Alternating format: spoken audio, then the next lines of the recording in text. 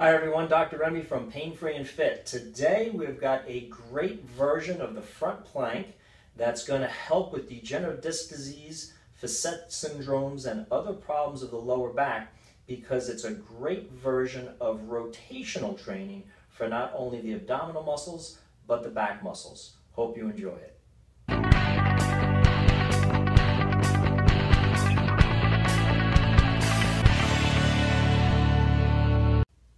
So this exercise is a great version for those of you who are looking to increase the stability and the strength of your rotational or twisting muscles of your core to stabilize your lower back for degenerative discs, spondylolisthesis, facet syndromes, etc. Many people do not have the strength either in their upper extremity or their core to do rotational planks that really challenge those abdominal oblique and back muscles such as the multifidus that participate in core rotational training. Remember the multifidus in the back is a key muscle that helps when you're training twisting or rotational type movements to stabilize the spine because the abdominal obliques as you're twisting exert a flexion effect or a bending forward effect on the spine. If it's not for the multifidus and other muscles, you're going to have too much flexion as those oblique muscles contract, and that's going to put more pressure on those degenerative discs, irritating your condition. So if you don't yet know how to engage your muscles for your particular posture themes and your mechanical issues, I invite you to go to either the Posturcise website or the Pain Free and Fit website. We have a free body analysis there, and you can learn if you do have a weak multifidus muscle, how to engage it and use it correctly. If you have a tendency to hip hike or raise one hip up while doing abdominal work, or leaning a rib cage sideways, a side tilt, or a rotational problem where your hips are going one way and your torso has a tendency to go the other way because your obliques are developed asymmetrically. These are all very, very common issues that people have with abdominal oblique training, and we want to keep them in mind as we use this front plank modified form today.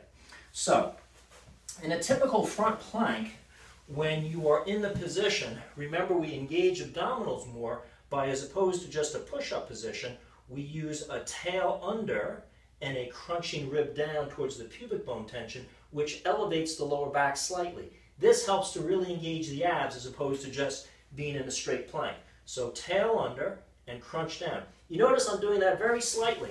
If I were to use a lot of crunch or bend, such as in a yoga down dog, I'm going to put too much flexion or forward bend on my spine, compressing those degenerative discs and irritating them. So it's just a slight amount that I'm using in this position. So from the front view, I'll show you how to do this exercise now. Once we set up that same front plank, where we keep our tail under and crunch down, and we have our unique tendencies checked, so we make sure we're not leaning to one side or twisting to one side, we're going to bend one elbow slightly. As I do that, my entire body will start to twist towards the straight arm side. And I'm twisting now from my head all the way through my toes. So there's a rotation or a twisting demand on the body, causing those abdominal obliques and multifidus muscles to work very strongly to hold me in good alignment. The typical mistake on this side is that on the bent elbow side, besides not being able to hold the twist, many people will either hip hike, raise their hip upwards, or crunch their rib cage down towards this low hip. Let me show you another view of how that looks so you can see that a little bit better on an angle here.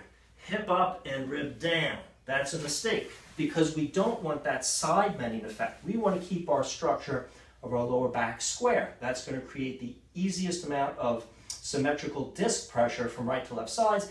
If we have a habit of either twisting to one side or leaning to one side, that's going to asymmetrically load the disc and irritate our pains. And that's where a lot of people go wrong with doing spinal rehab exercises or core training.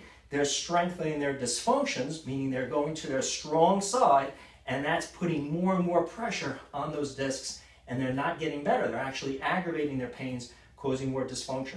Remember, we always want to train proper function. We don't want to encourage strengthening dysfunction. So, with that plank, make sure that you have your body held in good alignment.